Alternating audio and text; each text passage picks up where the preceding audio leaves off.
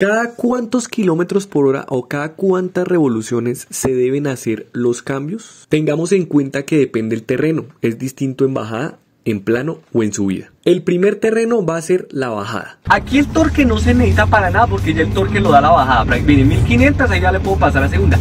Pero ¿qué sucede? Esta carretera tiene muchas curvas cerradas, entonces yo diría que nuestro cambio objetivo va a ser segunda. Y con el freno vamos a tasar que el carrito no se pase de 3000 revoluciones. ¿Listo? Con el freno vamos tasando eso. Mira, ahí voy a 2100, sigo relajado. Claro, y con el freno también pues vamos tasando las curvas.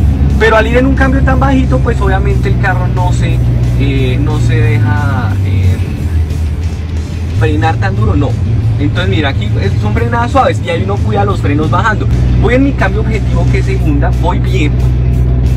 Voy muy bien ahí. Y ya miren, aquí solamente estoy con el pie sobre el y el carro me baja solo.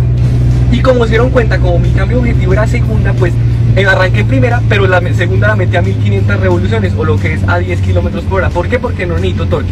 Aquí, por ejemplo, ya dejó de haber una bajada tan cerrada, perdón, con curvas tan cerradas. Entonces aquí, me hace 1500, ya le puedo pasar a tercera y él baja solito. ¿Por qué? Porque ya puedo más recto. ¿Listo? Y ahora mi cambio objetivo es tercera. Y lo mismo, cuidar que no se pase de 3000 revoluciones, pues para que el carro no empiece a ir tan forzado el motorcito pues en revoluciones. ¿Listo? Miren, aquí el solito va ganando, por lo que la baja se lo va llevando. Aquí tiene una curva, freno, no hay que frenar tan duro. Y listo. Y ahí vamos. Si se dan cuenta, pues así sería en bajada. En plano, en plano ya se necesita un torque suave, pero se necesita. Se necesita un torque. El carro anda bien, pero pues se necesita algo, algo que tenga. Los cambios en plano los hacemos cada 2000 revoluciones. Cada vez que pasemos del 2, ya tenemos el torque suficiente. Ahí, ahí ya aguanta el siguiente cambio. Clutch al fondo, suelto acelerador, clutch al fondo, segunda, suelto el clutch y una vez el embrague o clutch esté afuera o casi afuera totalmente, ya podemos ir volviendo al acelerador. Aquí, bueno, paramos. ¿Cómo paramos? Obviamente es hora de primera, obviamente, ¿cierto? Siempre que uno arranca de cero, pues es en primera. Aquí, en primera, siempre que arranquemos de cero en primera, ya lo saben, dos, siguiente. Vamos a ir a la izquierda.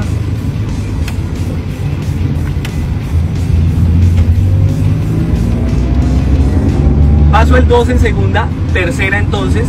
Y si se dan cuenta, siempre que yo hago el cambio, él se devuelve el tacómetro. Paso el 2, cuarta. Vamos a ir a la derecha. Si el tacómetro me baja del 1, ya saben que tengo que meter embrague. Meto embrague, queda 20, es hora de segunda. Paso el 2, siguiente cambio y el vuelve y se devuelve el tacómetro y así sucesivamente.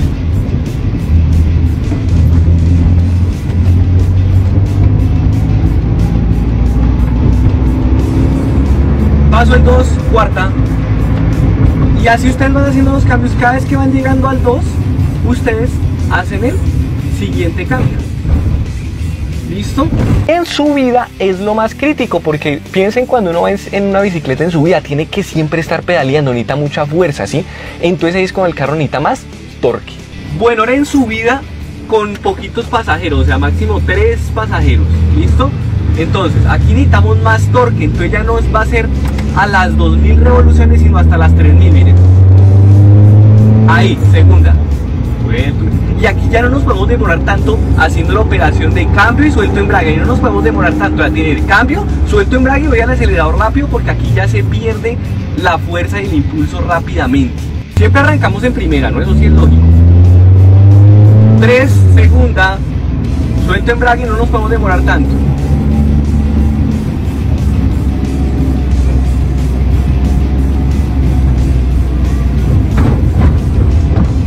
Aquí sigo, sigo. Si me llego a bajar de 1500 revoluciones me toca volver a primera, pero no, ahí estuvo ahí, ahí apenas, se aguantó. Entonces aquí sigo subiendo. Voy en 2000, nada, sigo en segunda. Si queremos hacer un sobrepaso, digamos, subiendo, tienen que meter todo el acelerador hasta el fondo. ¿Sí ven? Hasta el fondo del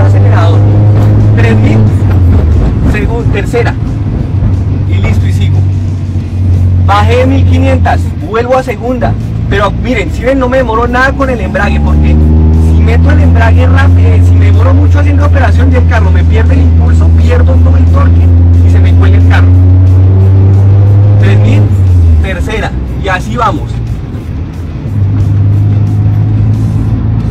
Con ya mucha carga en subida, pues es peor. Imagínense ustedes en una bicicleta con, si fueran llevando a alguien en la barra. Ahí sí que toca hacer toda mucha más fuerza. Entonces, ahora una subida con muchas personas. Entonces, cinco personas y maletas o cuatro personas y maletas, casi cupo lleno el carro.